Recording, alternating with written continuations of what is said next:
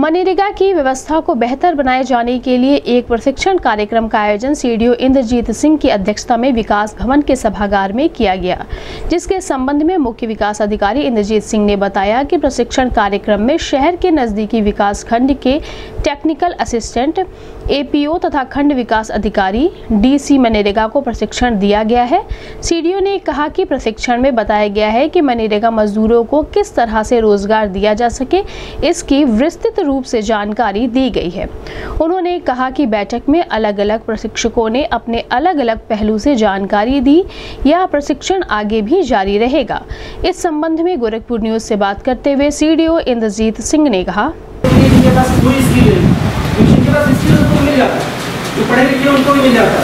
सरकार ने सोचा उनको कैसे अधिकार दें जिनके पास कोई स्किल नहीं है। अनस्किल्ड लेबर्स को राइट टू वर्क के तहत लाने का स्कीम आता है अगर आप फेल करते हो तो आप पर और कोई कार्रवाई नहीं होगी। सबसे पहली कार्रवाई होगी राइट का वायलेशन है सर, इतना कभी डर लगा इस स्कीम के साथ? कि हमने, हमसे जो कहा गया पंद्रह दिन के अंदर रोज़गार दिया है कि आप ये समझ जाओ कि आप किस मैकेनिज्म में काम कर रहे हो। ये जो अम्ब्रेला है, इतना महत्वपूर्ण है, जिसको सुप्रीम कोर्ट से सीधे पावर मिली हुई है। क्योंकि फंडामेंटल राइट को इम्प्लीमेंट करने का अधिकार सुप्रीम कोर्ट और इतने बड़े अधिकार को हम इम्प्लीमेंट कैसे करें? पहला पहला काम और पहला, कल से आपकी जवाबदेही, दोनों चीज़ें। सिद्धांशु मैपिंग हमारे यहाँ नहीं होता। जो अभी सिद्धांशु कह रहा था इसका मतलब ये होता है कि आप जिस जगह काम करा रहे हो मतलब एक रोज़गार सेवक, हम रोज़गार सेवक से शुरू करते हैं, एक रोज़गार सेवक पास एक जीपी है। आज की डेट पे जीपी कहाँ एग्जिस्ट करती है? क्या किसी ने मैपिंग कर रखी है? नहीं है। नहीं है। तो जब हमारे पास मैपिंग नहीं है तो हम इम्प्लीमेंट कैसे करेंगे? तो पहला काम जो आपके स्तर पर मैपिंग आपके गाँव में चार मजले होंगे, पाँच मजले होंगे ज़्यादा नहीं है। आप क्या करिए, उस बड़े पेपर को चार मतलब जैसे जैसे मजले हैं, उसके हिसाब से बांट ठीक है? फिर क्या करेंगे आप उसमें? उसमें जो रिसोर्सेज हैं रिसोर्स कौन सा नेचुरल रिसोर्सेज यानी तालाब कहाँ है चटरोट कहाँ है पिच रोड कहाँ है, गाँव की जो आबादी है उसे कैसे आप निर्माण करना है। समझ पा रहे हैं तो आप मैपिंग कर देंगे। अब मैपिंग करके आपको समझ में आएगा कि हमारे पास पाँच तालाब है कितना चाहिए ये प्रवचन नहीं अब इसके बाद इसका सीधे रिज़ल्ट यानी कल जो भी रोज़गार सेवक आएगा, वो अपना चार्ट लेगा पहला काम। और इस चार्ट को बनाने के लिए हम लोग अपने पीएस को, क्योंकि रोज़गार सेवक की अपनी है, ठीक है? उसकी अपनी अपनी समझ है। टेक्निकल हेल्प हमारे पीएस बन देंगे इसमें जितने लोग आए हैं, उन लोग की ज़िम्मेदारी है कि कंसर्निंग जीपी का ये चार्ट बनवा करके लेके आएँगे और हर टीए कम से कम एक चार्ट मतलब चार्ट मिनिमम लेके आएगा क्लियर ये बात? उससे यह होगा कि आपके चार्ट में हम लोग और कुछ एडिशन चाहते हैं। तो कल आपको सजेस्ट कर दिया जाएगा। ठीक है? तो ये हो जाएगा रिसोर्स प्लानिंग जो फ़र्स्ट फ़ेज़ है स्कीम को इम्प्लीमेंट करने समझ गए ये क्या है?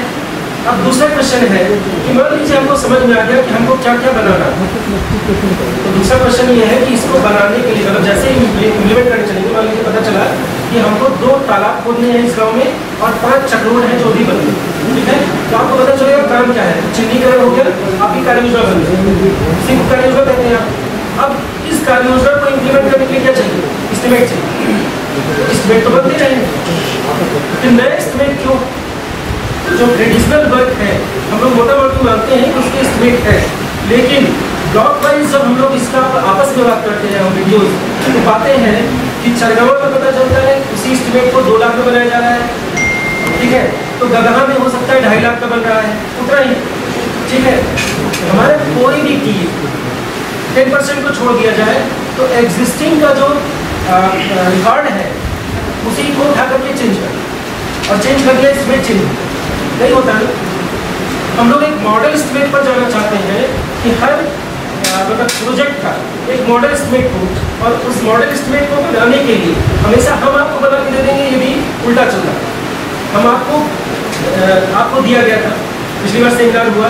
यहाँ पे एनएक्सी में सेमिनार हुआ, आपको बुकलेट दी गई बुकलेट सबके घर में गई, घर में रख दी गई। दस परसेंट, पंद्रह परसेंट, बीस परसेंट हमारे टी सब आएँगे जिन्होंने उसको कंसर्न किया। पचास साठ परसेंट ऐसे लोग हैं क्योंकि तो तीसरा ब्लॉक है मेरा, कजनी गगहा और गोला तो तेरह लोग यहाँ पर हैं, छः सात वहाँ थे और छः वहाँ। तो ये जो अनुभव है, मेरा मतलब हर ब्लॉक में दो या तीन किए होते हैं, जो सब कुछ मैनेज करते हैं। तो क्वेश्चन ये है कि बाकी लोग कैसे शामिल हों? उसको शामिल करने का अच्छा सा तरीका है। सुधार से करना ये है कि हम लोग जैसे बीस ब्लॉक के चार चार से पाँच पाँच टी पर ब्लॉक आइडेंटिफाई करते हैं ठीक है? उसके बाद उन टी ए साहबान को हम लोग ग्रुपिंग कर देंगे और उनको यही टास्क दे देंगे। सर बैठक के संदर्भ में हाँ ये जो बैठक थी आज जो अ, हमारे शहर के नज़दीक के ब्लॉक है उनके टी एस टेक्निकल असिस्टेंट्स रोज़गार सेवक ए पी ओ और हमारे खंड विकास अधिकारी और जो डी सी मनरेगा इनको एक वर्कशॉप की गई है। मनरेगा का एक जो स्टैंडर्डाइज एस्टिमेट्स हैं उनके बारे में और किस तरह से जो रोज़गार है मैक्सिमम दिया जा सके। और जो शासन के जो लक्ष्य हैं, उसको पूर्ण किया जा सके। और ये अभी कंटिन्यू चलेगा। आज सुबह नौ से दस हुआ है, कल आठ से लेकर ग्यारह बजे तक कल सुबह फिर ये रिपीट किया जाएगा। और इसमें अलग अलग वक्ता अपना प्रेजेंटेशन देंगे। और जो इसमें पार्टिसिपेंट है, वो भी प्रेजेंटेशन देंगे और उनको एक टारगेट दिया जाएगा और वो टारगेट टाइम बाउंड तरीके में मनरेगा में पूरा कराया जाएगा। इसमें जो दो चीज़ों पर जो है, एक डिमांड कैप्चरिंग और असेट जनरेशन सर, कितने तक ट्रेनिंग ये अभी रेगुलर रहेगी। ये ट्रेनिंग का सेशन अब डेली चला करेगा और पूरे गोरखपुर को कवर किया जाएगा। सारे टीएस को, रोज़गार सेवक को ए को और खंड विकास अधिकारी को, ताकि जो ज़मीनी स्तर पर मनरेगा में एक अच्छे असेट्स क्रिएट किए जा सकें।